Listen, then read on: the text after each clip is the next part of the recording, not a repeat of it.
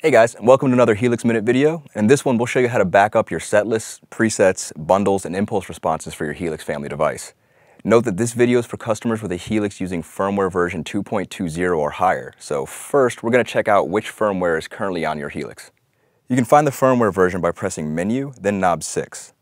The firmware will be in the upper right of the main display.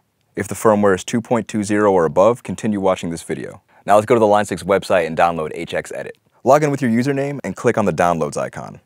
Click on the All Software dropdown and select HX Edit, then go. Select Get Download, then press Accept and Download. Open the download file when it's finished, then open the package. Follow the prompts and agree to the software license to install.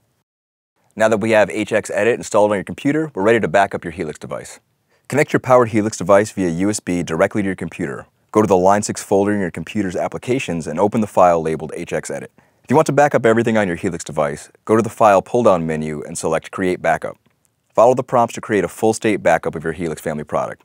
This will include global settings, IRs, setlists, and presets. If you want to just save individual presets, groups of presets, or setlists, which are the 128 presets in the current list, select one of those options and click either of the export tabs on the upper left corner. You can export individual IRs or groups of IRs as well, but note that they won't come back into the same locations unless you use the Create Backup feature. That's the end of this Helix Minute video. Remember to check out line6.com for more in-depth videos, thank you guys for watching.